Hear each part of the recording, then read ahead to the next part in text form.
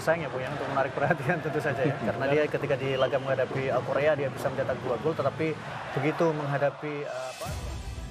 Timnas Futsal Indonesia berhasil lolos ke partai final MNC International Futsal Cup 2022 setelah mengalahkan Timnas Futsal Korea Selatan dengan Selangor Tot United dari Malaysia.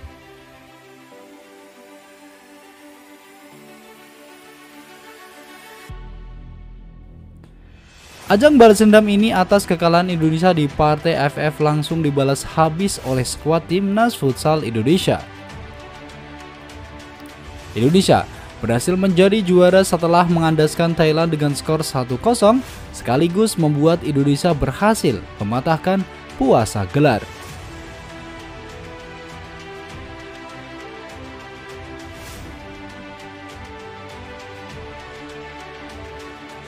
Indonesia sejak menit awal langsung membuat pertahanan Thailand panik dengan kejutan-kejutan serangan skuad Garuda Asia.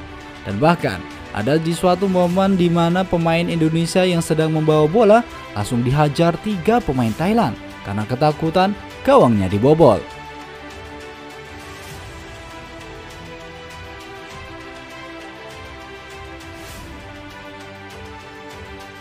Dengan kerasnya pemain Indonesia dijatuhkan di dekat kotak penalti Thailand, wasit pun langsung meniup peluit tanda pelanggaran terjadi.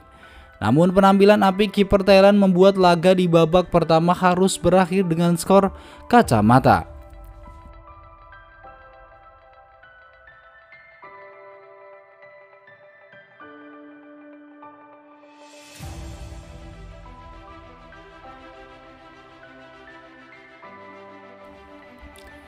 Di babak kedua Indonesia kembali menambah daya serang yang bahkan tak masuk akal. Alhasil, gol Firman membuat kita bernafas lega. Memanfaatkan lemparan kiper Indonesia, Firman dengan mudahnya menceploskan bola ke gawang Thailand.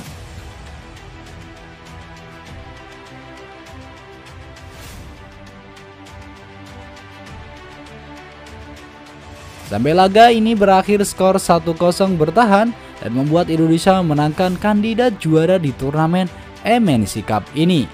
Timnas futsal Indonesia memang sudah diakui dunia berkat penampilan impresifnya. Indonesia bertengger di posisi 39 dunia dan 6 Asia. Padahal skuad saat ini bukan tim utama Indonesia, melainkan masih dalam percobaan karena 8 pemain masih mewakili klubnya di ajang FF Futsal yang diadakan di negara lain.